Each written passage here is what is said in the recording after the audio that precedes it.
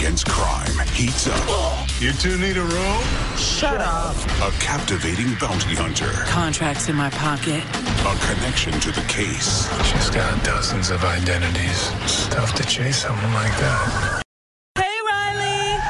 What is it with you, me, and handcuffs? New Person of Interest, CBS next Tuesday.